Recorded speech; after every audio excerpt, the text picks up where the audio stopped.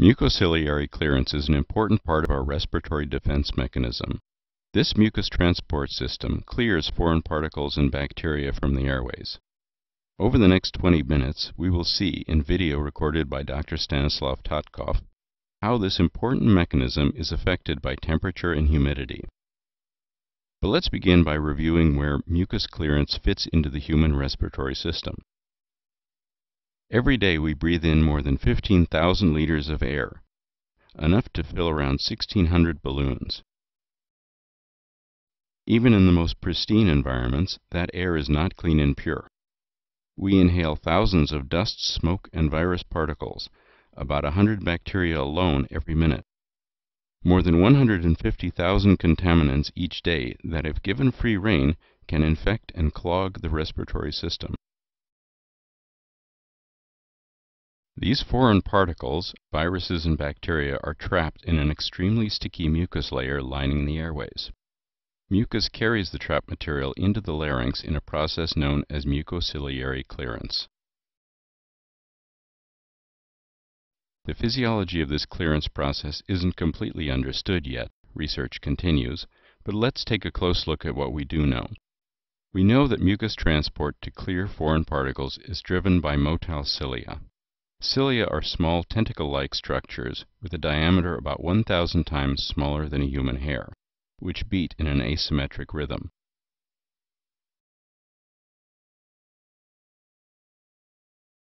Cilia protrude from most of the epithelial cells lining the airways, densely carpeting the respiratory tract.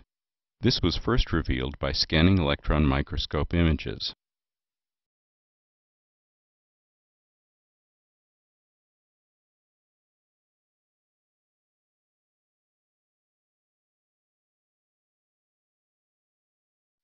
The cilia are bathed in a watery fluid. The mucus layer, which traps debris, floats on top of this periciliary fluid, and as the cilia beat synchronously, the mucus layer moves, carrying along trapped particles. Now, the exact mechanism by which the cilia cause the mucus to move remains unclear, and it's the subject of intense research. This particular animation is based on the work of Gheber and Priel.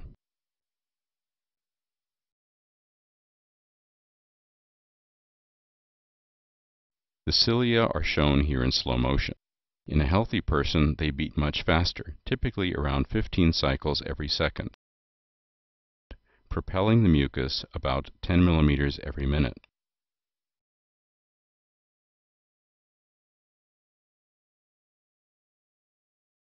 Zooming out to a video microscopy recording of live tracheal tissue, you can see the tiny beating cilia as flicker throughout the image and debris floating on the mucus layer as dark spots moving slowly across the field.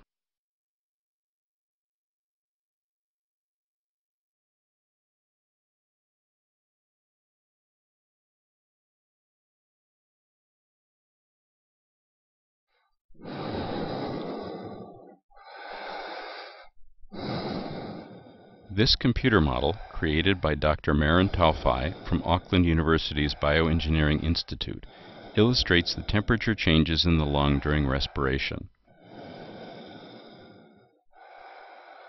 Airway temperature is mapped to color from 34 in blue to 37 degrees Celsius in red. Inhaled room air is warmed and humidified in the airways. As you can see in the model, by the time it reaches the trachea, room air has warmed significantly. Heat exchange occurs in the airways, so temperature falls during inspiration and rises during expiration as heat and moisture are recovered.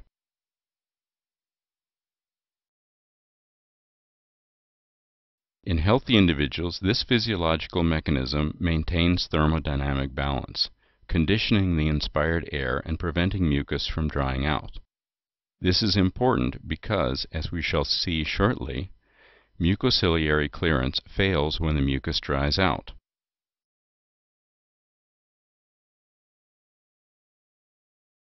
Recovery of heat and moisture during expiration may be inadequate to prevent dehydration of airway mucus in patients suffering from COPD, bronchiectasis, cystic fibrosis, and asthma. Mucus clearance slows dramatically in these patients. During mechanical ventilation with room air, or bypass of the upper airway by tracheostomy, cool, dry, unconditioned air desiccates the airway mucus.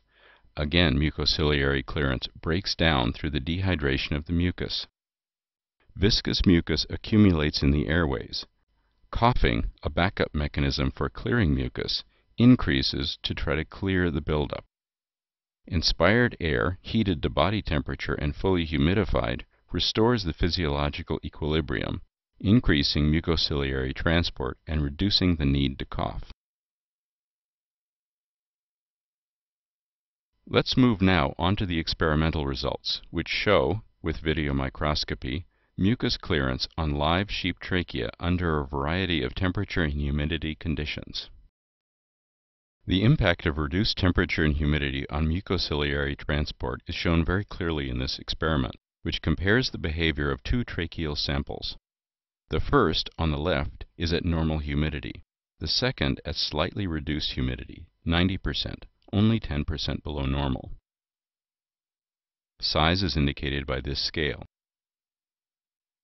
You will see that when the relative humidity of air flowing over the trachea is below 100% for a long period, the mucus layer will dry out. Of course, this prevents proper mucociliary transport, leaving potentially infectious debris stuck in the airway. For both recordings, the air was supplied at 25 liters per minute and 38 degrees Celsius from the humidifier. For simplicity, unidirectional airflow has been used in all the demonstrations. As we mentioned earlier, heat and water vapor are normally partially recovered during expiration. As the clip starts, the right trachea has been exposed to a constant airflow at lower humidity for 15 minutes. Although you can see tiny beating cilia flickering in the background of both clips at this stage, debris in the mucus of the right clip are stationary. Mucus transport is essentially stopped. The dark spots, moving quickly across the left clip now, show debris being cleared by effective mucociliary transport. After only an hour at the lower humidity, the mucus layer at the right has completely dried out. The clip is quite short, so let's play it again. Remember the right trachea has been exposed to 90% humidity for only 15 minutes. Then after an hour it has dried out completely. Any debris will remain stuck on the trachea and may lead to infection.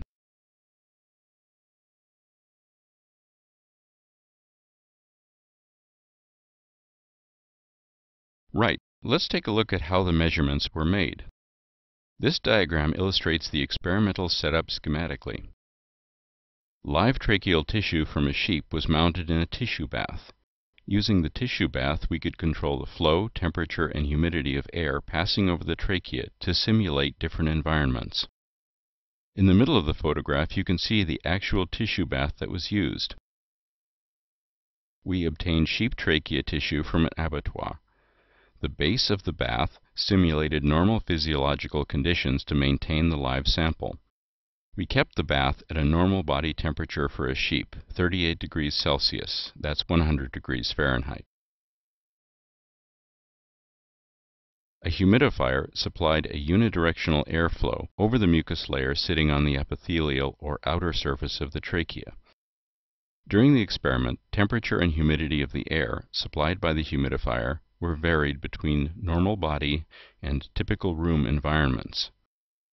Normal body conditions for a sheep trachea were taken as 38 degrees Celsius, 100% relative humidity. And we used 24 degrees, that's 75 degrees Fahrenheit, and 60% humidity as our typical room air environment. We observed the trachea sample with a microscope through a heated glass window in the top of the tissue bath. A high-speed digital camera connected to the microscope let us record the beating cilia and mucociliary transport of debris caught in the mucus layer that you can see in this video.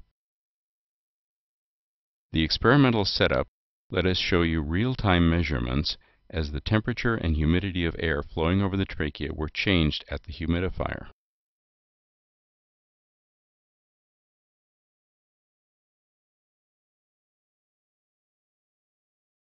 In the first experiment, we showed that a constant flow of air, even at 90% humidity, can dry out the mucus layer. This next experiment shows that brief exposure to room air inhibits mucociliary clearance, but demonstrates humidified air can restore the mucociliary mechanism. Here we are monitoring the velocity of debris on the mucous surface as it is pushed along by mucociliary transport. The scale, which is 200 microns long, indicates magnification. This tissue has been exposed to unidirectional airflow at 38 degrees Celsius, 100% relative humidity for some time, so mucus transport is operating normally. Just after recording began, temperature and humidity were reduced to typical room conditions. Transport velocity slows until the debris on the mucus layer stops moving almost completely. Transport velocity is restored when we return to body temperature and humidity. Particles on the surface are moving at about 8 millimeters per minute.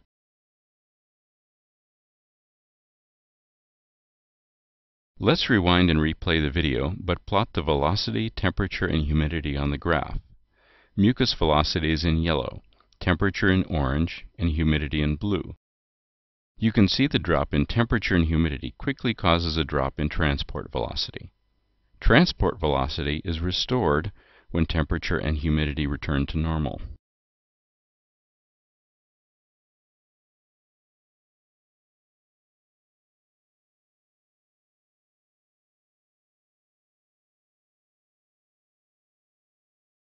To show that the reaction of mucus transport is repeatable, the previous experiment was duplicated with several temperature-humidity cycles. The first two are shown here. As you will see, mucus transport velocity consistently followed the temperature and humidity changes. Again, mucus velocity, the air temperature, humidity, and flow rate are shown graphically. When the clip starts, the airflow is at body temperature and humidity. We'll drop it to typical room conditions. As before, mucus velocity drops too. Returning airflow to body conditions, we see the surface debris begins moving again.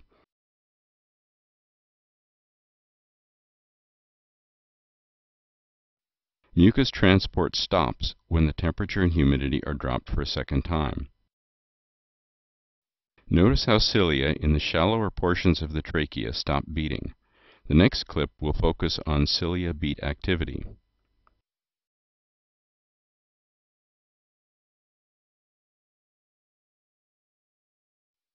The mucus transport velocity is plotted against time in this graph, showing the two cycles from the video recording.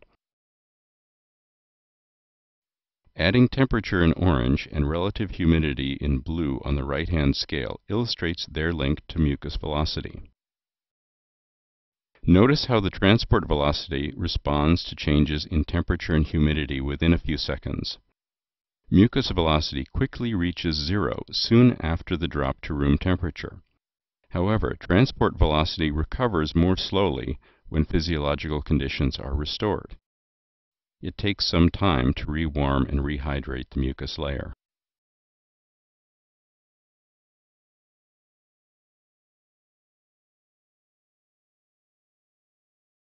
In the previous clips, we have explored how unconditioned room air inhibits mucus transport. In this video, we will focus on the motile cilia, the tentacle-like structures lining the airways that were shown in slow motion during the introduction. Recall that it is their activity that leads to mucus transport. Normally, cilia beat in unison to move debris in the mucus. But like mucus transport itself, this video shows their activity is affected by temperature and humidity too.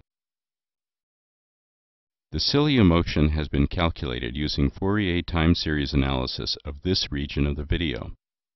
The cilia beat frequency was estimated from the power spectrum density calculated over one second intervals and is shown on the indicator. High frequencies show the cilia are working effectively to clear foreign material from the trachea. Low frequencies indicate the cilia are barely moving. As before, temperature, humidity, and airflow are displayed. Initially operating at about 12 beats per second, cilia activity quickly drops when temperature and humidity are reduced. Activity is restored when we return to physiologically normal conditions.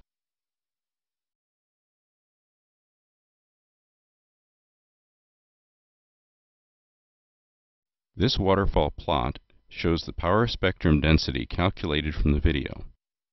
Our estimate of the cilia beat frequency is marked in black. Frequency is plotted vertically with high activity in red and low activity in blue.